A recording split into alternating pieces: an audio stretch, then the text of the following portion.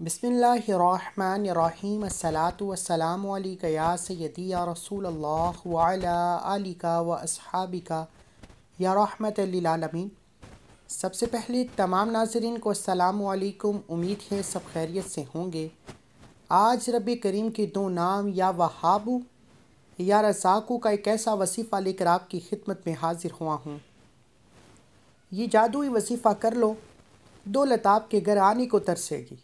जो कहता है कि मेरे घर से बेरोज़गारी का, गुर्बत का ख़ात्मा नहीं होता। आप में से बहुत सी बहनें, बेटियाँ, माएँ, बुज़ुर्ग कमेंट्स करते हैं कि हमारी दुकान पर गाहक नहीं आते। हमारे जवान बच्चों को नौकरी नहीं मिल रही। हमारे घर में हर वक्त लड़ाई झगड़े रहते हैं। पैसे की कमी है। हर काम होते होते रह जाता है। तो ऐसे तमाम अफराद से मेरी हाथ जोड़कर गुजारिश है कि ये जादुई वसीफ़ा कर लो। इन रिसक दौलत खुद चलकर आपके कदमों में आएगी। आपके घर में गैब से इतना रिसक और दौलत आएगा कि आप गिनते गिनते थक जाओगे, आपके ख़जानों में कमी नहीं आएगी। अगर आप भी रब करीम से अपनी हाजात को पूरी कराना चाहते हैं रिसक और दौलत से जोलियाँ भरना चाहते हैं, अपने गैब से ख़जानों का मालिक बनना चाहते हैं तो या वहाबू या रसाकू का ये ख़ास वजीफ़ा बताए गए तरीके से पढ़ने का मामूल बना लें। वजीफ़े का तरीका बता रहा हूँ। एक एक नुक्ता, एक एक बात बहुत इम्पोर्टेंट बहुत ख़ास है। अगर आपने वीडियो को स्किप या काट कर देखा, अमल की कोई ख़ास बात, वसीफ़े का कोई हिस्सा छुट गया तो पूरा साल पछताना पड़ेगा। वसीफ़े का फ़ायदा ना होगा। और अगर इस वसीफ़े को एक बार बताए गए तरीके से पढ़ा, तवज्जो कीजिएगा। नाम रब के हैं, मांगना रब से है। देने वाली ज़ात भी रब की है हम तो सिर्फ़ वसीफ़ा बताने वाले हैं। लेकिन बाज़ात वसीफ़ा बहुत से लोग पढ़ लेते हैं, लेकिन फ़ायदा नहीं होता। इसके पीछे बड़ी वजह यह है कि जब आप रब रब करीम के सामने कोई वसीफ़ा लापरवाही में, कोताही में पढ़ते हैं तो फ़ायदा नहीं होता। आज मैं अपनी बहनों को वो तरीका बताऊँगा जिस तरह अल्लाह के हबीब, अल्लाह के नेक बंदे, सहाबा इकराम और पैगंबर रब करीम को रासी किया करते थे। और रब करीम उन बंदों की हर हाजत को पूरा फरमाते। आज कुरान भी वही है, अमाल भी वही हैं, तस्बीहात भी वही हैं, वज़ाइफ भी वही हैं। लेकिन हमें मांगना क्यों नहीं आता? हमारी दुआएँ क्यों कबूल नहीं होती? हमारी हजात क्यों पूरी नहीं होती? तो खुदारा या वहाबू या रसाकू का ये वसीफ़ा कीजिएगा। ये एक दिन का अमल है, बहुत ही ख़ास, बहुत ही मुजरब है। ये रूहानी वसीफ़ा पढ़ने के बाद आप रब करीम से जो भी मांगेंगे, जितना भी मांगेंगे, जैसा भी मांगेंगे, रब करीम गैब से बेहतर नहीं, बेहतरीन से नवाजेगा। क्योंकि वो ज़ात जब देने पर आती है, ना शक्लें देखती है, ना अमाल देखती है, छप्पड़ फाड़ कर अता फरमा देती है। अल्लाह वालो, ये वसीफ़ा रब करीम के नामों का वसीफ़ा है, जो चंद दिनों में जैसे कि तीन दिन के अंदर अंदर आपकी हर हाजत को पूरा कर देता है। तीन दिन में वो शख्स इतना माला माल हो जाता है कि वो ख़ुद को, ख़ुद भी समझ नहीं आती कि ये रिज़्क कहाँ से आ रहा है। अल्लाह ताला की ज़ात जो कि कुछ इंसान के लिए रहमान है, रहीम है रसाक है, वहाब है, और जब कोई बंदा रब को रब के नामों से पुकारता है तो रब की ज़ात अपने नामों की फजीलत व बरकत से मांगने वाले के मुँह से निकली हर बात को पूरा फरमाते हैं। इस कदर रिस्क और दौलत आता है कि बंदे को समझ भी नहीं आती। अगर आप भी अपने घर से बेसकूनी का, बेबरकती का ख़ात्मा चाहते हैं, दुकान पर गाहकों का रश चाहते हैं, बंद कारोबार में तरक्की अरूज कामयाबी चाहते हैं तो या वहाबू या रसाकू को पढ़िएगा या वहाबू का मतलब क्या है कि ए खोलने वाली ज़ात, ए बहुत ज़्यादा देने वाली ज़ात, और जब उस रब को पुकारोगे, जो हर शय पे कादिर है, जिसकी मर्ज़ी के बग़ैर एक पत्ता भी हिल नहीं सकता जब कोई बंदा या वहाबू पढ़कर पुकारता है तो मेरा रब इतना देता है कि बंदे के ख़जाने छोटे पड़ जाते हैं और यार साकू पढ़ने वाले पर तीन सौ रिजक के दरवाजे खुल जाते हैं। आज मेरी और आपकी परेशानी क्या है? कि ज़्यादा से ज़्यादा हमें तीस, चालीस, पचास हज़ार की नौकरी मिल जाए। लाखों मांग लोगे। लेकिन रब की ज़ात इतनी असमत वाली है कि छप्पड़ फाड़ कर देने पर कादिर है। अगर आज हम अपने करीब कुछ लोगों को देखें तो रब करीम ने उनको इतना दिया, इतना नवाजा है कि उनके पास बेशुमार गाड़ियाँ हैं बड़े बड़े बंगले हैं बड़े बड़े कारोबार हैं, ये भी रब की देन है। अगर रब उनको दे सकता है, उनको बड़ी बड़ी गाड़ियाँ दे सकता है बड़े बड़े घर दे सकता है बड़े बड़े ख़जानों का मालिक बना सकता है, हम भी तो उसी रब के मानने वाले हैं। अगर हम भी, आप भी, आप में से कोई भी चाहता है कि रब की ज़ात आपको भी अपनी असमत के मुताबिक माला माल कर दे। तो नाजरीन कराम, ये वजीफ़े पढ़ने के साथ साथ हमें पाँच वक्त की नमाज़ भी पढ़नी चाहिए। क्योंकि वजीफ़े के साथ जो इबादत होती है, वो भी बहुत ज़्यादा ज़रूरी होती है। ख़ास करके इबादत के बाद जो दुआ मांगी जाती है, इस दुआ की अलग ही बात होती है कि अल्लाह ताला की अजीम रहमतों को, जो बावजूद गुनाह, इस हाल में भी हमें रिस्क देकर सुलाता है। हम इंसान कितने गुनाह करते हैं, कितने शर्मिंदगी वाले अमाल करते हैं, रब की ज़ात फिर भी हमें खाना खिलाकर सुलाती है, फिर भी हमारे घर में तमाम नेमतें पहुंचाती है। क्या कभी सोचा है कि वो रब हमें गुनाहों के बावजूद इतना दे रहा है? तो जब हम गुनाहों से माफ़ी मांग लेंगे, गुनाहों के साथ इतना मिल रहा है तो जब एक बंदा गुनाहों से तोबा करता है, रब करीम के सामने शर्मिंदगी के साथ नदामत के साथ अपने गुनाहों की सच्ची तोबा करता है। रब करीम को रासी कर लेता है। वो रब जो इतना रहमान है, बैठे बैठे फिर तमाम के तमाम गुनाहों को बख्श कर उस बंदे से राज़ी हो जाता है और उस बंदे के मुँह से निकली हर बात को पूरा फरमाता है। गुनाहों के साथ इतना मिल रहा है, गुनाहों की बख्शिश के बाद मेरा रब ख़जानों का मालिक बना देता है। खुदारा, अपने किबले को दुरुस्त कीजिए पाँच वक्त की नमाज़ पढ़िए, हकूक़ुल अल्लाह और हकूक़ुल इबाद की अदायगी लाजमी कीजिएगा। अगर आपके घर में किसी भी तरह की तंगी है, आपके घर में किसी भी तरह की बेसकूनी है, आप किसी भी तरह से परेशान हैं तो या वहाबू, या रसाकू का ये वसीफ़ा पढ़ने की देर है। आपके घर के तमाम मसाइल भी ख़त्म हो जाएँगे रिस्क की तंगदस्तियाँ भी ख़त्म हो जाएँगी। आपके घर में बच्चा बच्चा रपति बन जाएगा। या वहाबू का मतलब है कि वो परेशानियाँ, वो मुसीबतें, वो रिकावटें जिनको ना आप जानते हैं, ना मैं जानता हूँ, लेकिन हमारी तरफ़ आने वाली हैं। जो रब की ज़ात जानती हैं या वहाबू पढ़ने से, गैब से, हमारे तक पहुँचने से पहले उन तमाम हजात का ख़ात्मा हो जाएगा। और यार साकू से, रिसक इतना आएगा कि गिनते गिनते थक जाओगे, रिसक की कमी नहीं होगी। दुनिया जहान के तमाम काम छोड़कर आपने ये वसीफ़ा या वहाबू या रसाकू का लाजमी पढ़ना है। आप चाहे पाकिस्तान से हैं, आप सऊद अरेबिया से हैं, आप बांग्लादेश से हैं, आप नेपाल से हैं, आप मस्कत से हैं, आप ओमान, जापान, दुनिया के किसी भी कोने से आपका ताल्लुक़ है। जब आपके मुल्क में नमाज़ का वक्त हो जाए तो दुनिया जहान के तमाम काम छोड़कर सबसे पहले नमाज़ की अदायगी कीजिए।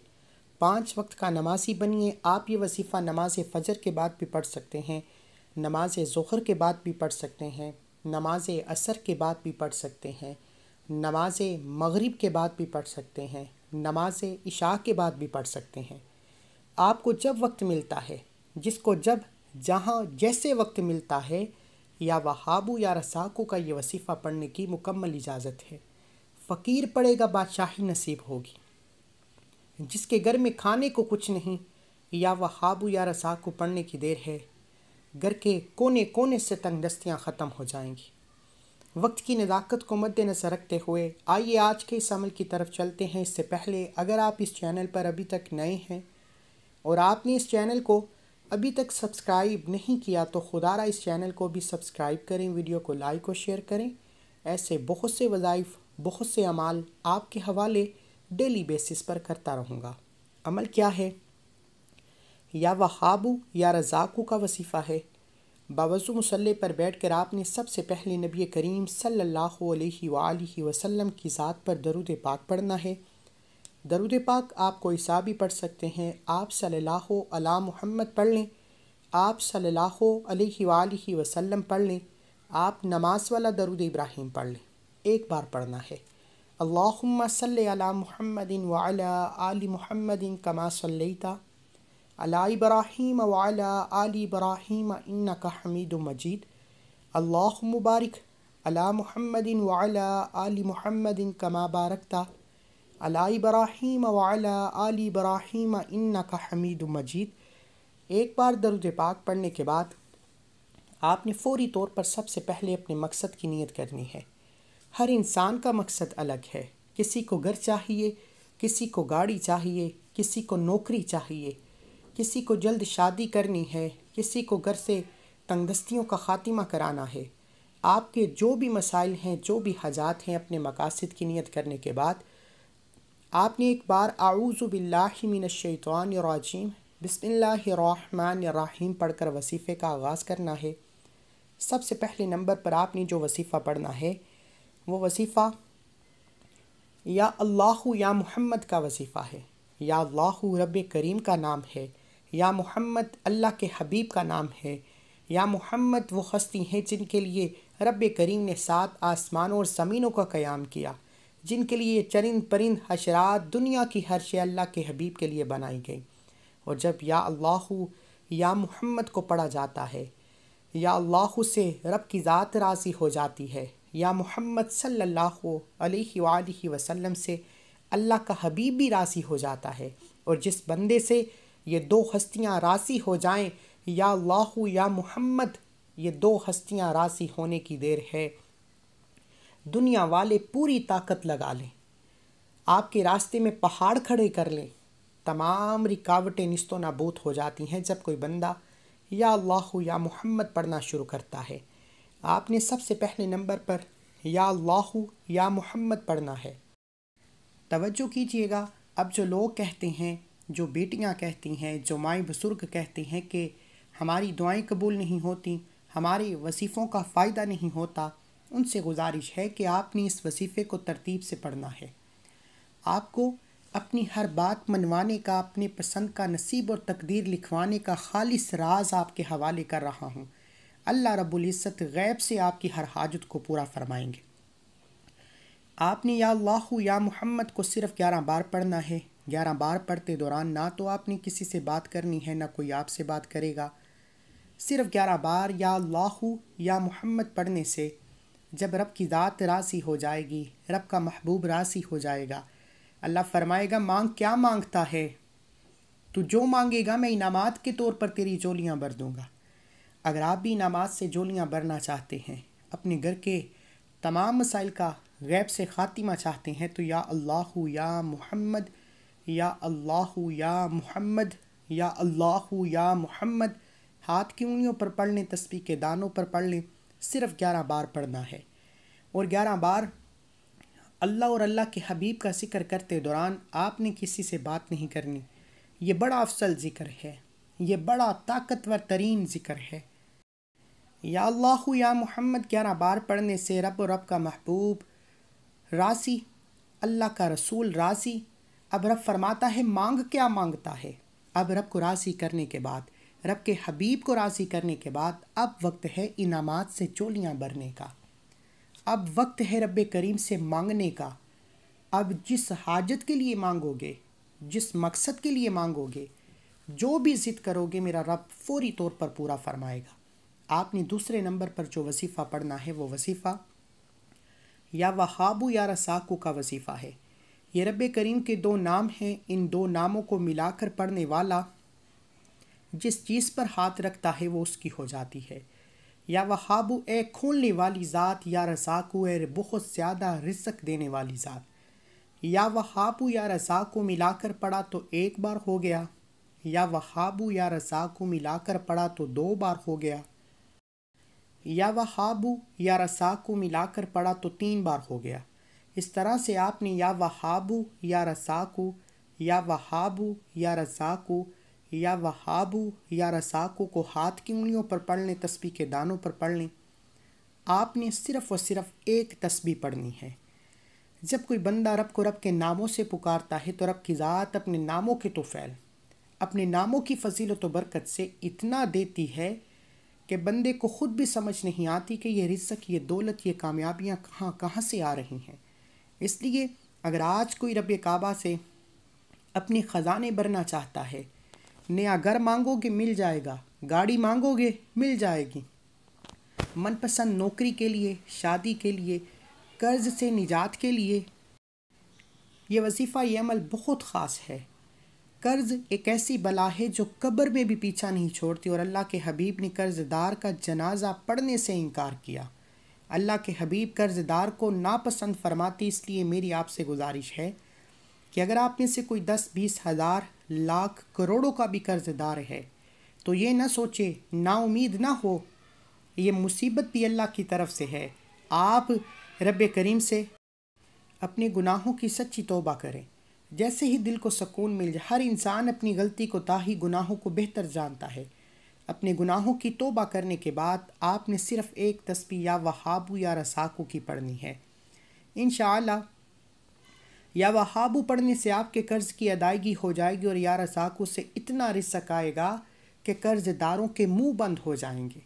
वो लोग जो आपको देखकर रास्ता बदल लेते थे, जो लोग आपकी बदकिस्मती का तमाशा बनाते थे, जो आपको ताने कसते थे, मेरा रब या वहाबू या रसाक पढ़ने से आपको दोबारा इज़्ज़त वाला, दौलत वाला, मालो दौलत अता फरमाएगा। खुदारा मेरी आपसे हाथ जोड़कर गुजारिश है ये अमाल छोटे छोटे हैं, लेकिन इनकी ताकत, इनकी फजीलत बरकत इतनी ज़्यादा है कि अगर मैं आपको इनकी फसीलतें बताना शुरू करूँ तो वीडियो बहुत लंबी हो जाएगी। इसलिए आपने या अल्लाह या मोहम्मद के बाद एक तस्बी सौ दानों की पढ़नी है और सौ बार का मतलब है कि सिर्फ़ सौ बार पढ़ा जाए।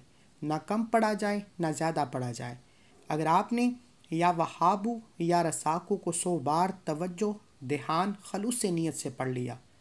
और इस दौरान रब करीम से जो भी मांगेंगे, वो सौ फ़ीसद गारंटी के साथ मिलकर रहेगा।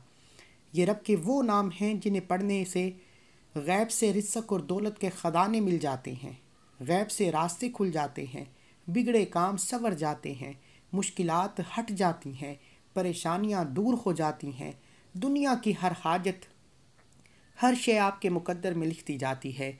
आपने या वहाबू या रसाकू की सिर्फ़ एक तस्बी पढ़नी है?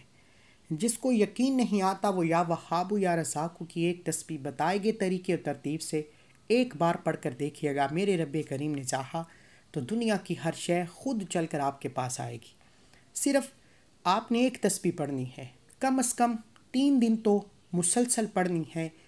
आप पर अगर बड़ी से बड़ी मुसीबत है, आप तीन दिन ये वसीफ़ा मुसलसल पढ़ कर देखिएगा।